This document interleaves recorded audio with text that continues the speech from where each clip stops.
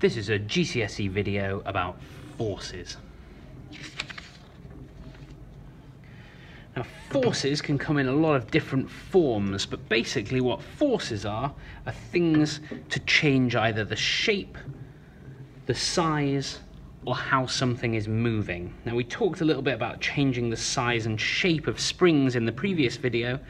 In this video we're going to talk about the force of the force on something changing how it is moving. Now here we have a wooden block. Now I know from my experience that if I push that block that way with my finger, it will start to move that way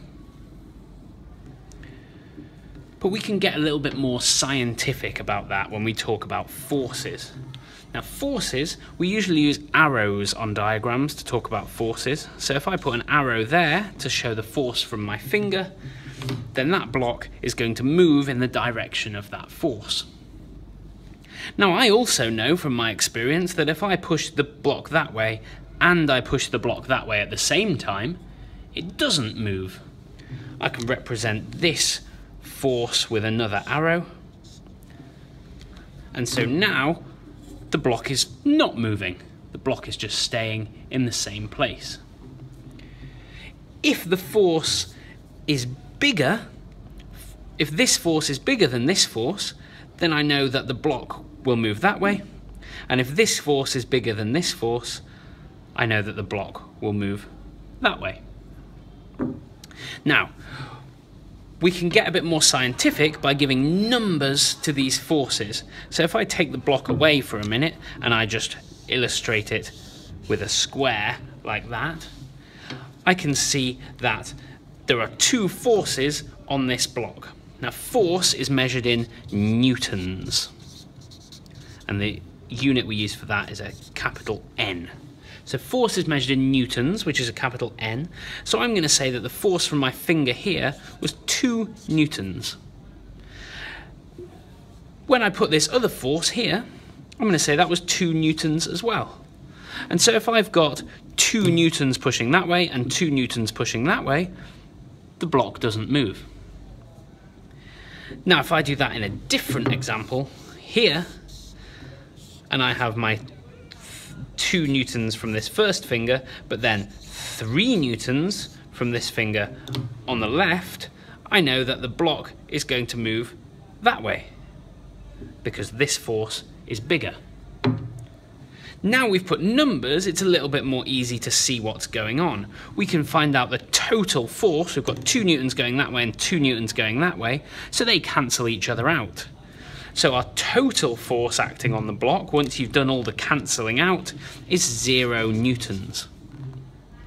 Now we call this a resultant force.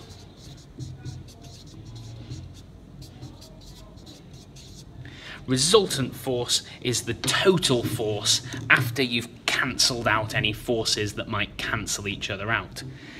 Down here we've got two newtons going that way, but we've got three newtons going that way. So two newtons here cancels two of these newtons, but our resultant force is one newton to the right. Because we've got more newtons here, we've got one extra newton here than here. So we've got a resultant force of one newton to the right.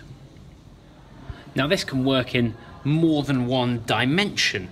So we've got here a, a, a box with six newtons pushing each way, so you should be able to tell from this that the resultant force is zero. If we put some forces down here, three newtons, two newtons, then we, even though we've got lots of different forces acting, these two cancel each other out. Two of these cancel two of these, so our resultant force there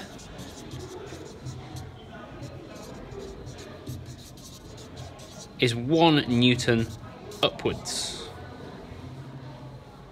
Now forces can only cancel each other out if they're opposite each other. So this, this force can cancel this force, but this force can't cancel out this force.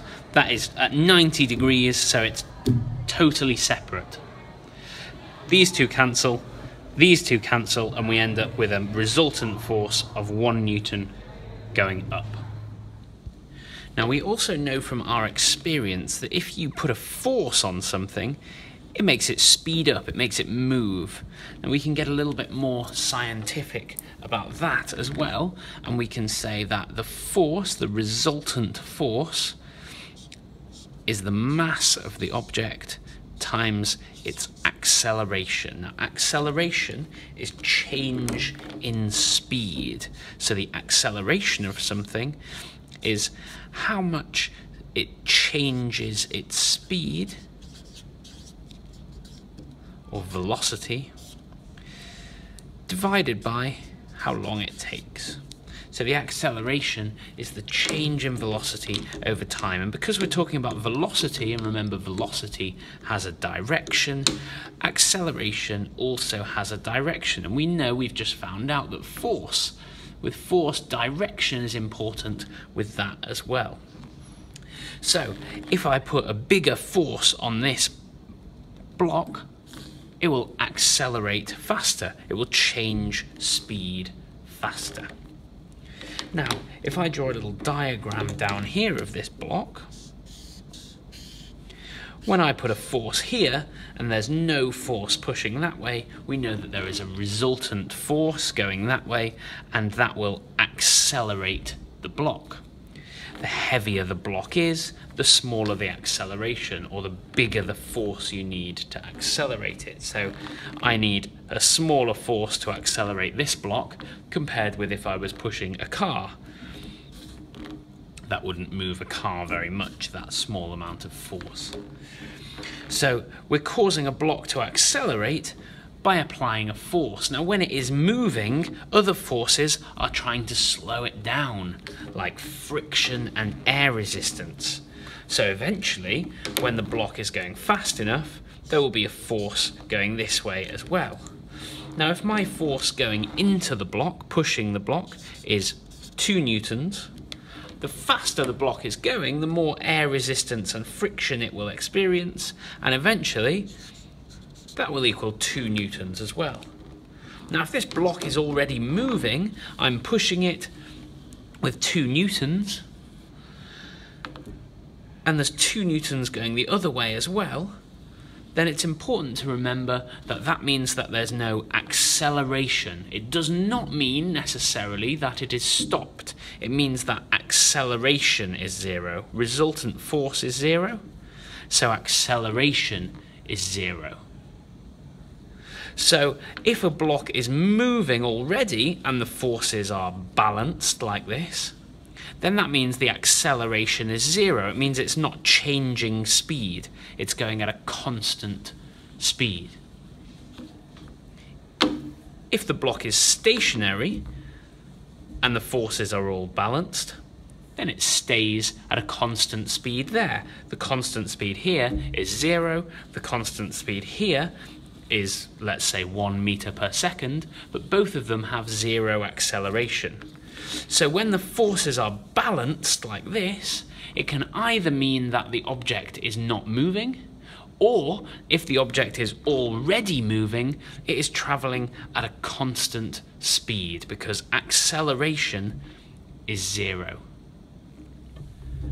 Now there's another thing that is closely linked to force, and that is something called pressure.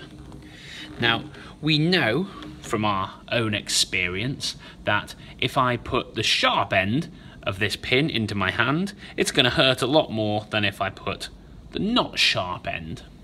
And that is because of pressure. It is because this, if you're not using scientific language, it's because this is sharp and this is not sharp. If we make that more scientific, we can say that this has a smaller area than this. So pressure is related to area, and the formula that we use for pressure is P for pressure is force divided by area. So I know that that hurts more than that, and I can show that a little bit more scientifically if I try and push this in to this plasticine and I use try and use the same amount of force that goes in about that much If I use the sharp side and I use the same amount of force, it goes in much deeper. So the smaller the area, you can think of it like all the force is being concentrated in a smaller area. And that means that the pressure is higher. So when I'm pushing the spike into the, into the plasticine, the pressure on the plasticine is much higher than if I'm pushing this. And if I take that even more extreme, if I try and push this into the plasticine, nothing really happens because this has a much larger area. So pressure is the amount of force per unit of area. And remember your units for this. Force is in newtons, area is in meters squared, and so pressure must be in newtons per meter squared. Now it's very easy to make a mistake on this in an exam. You need to make sure you are converting your area to meters squared if it's not in that already. It's a very easy mistake to make if they give you an area in centimeters squared and you don't convert it into meters squared, you would lose a mark. So be very careful that you're using the right units. So you can link pressure and force and acceleration together and you can get a really good picture of how you are changing the shape or you are changing the speed of an object when you are applying a force.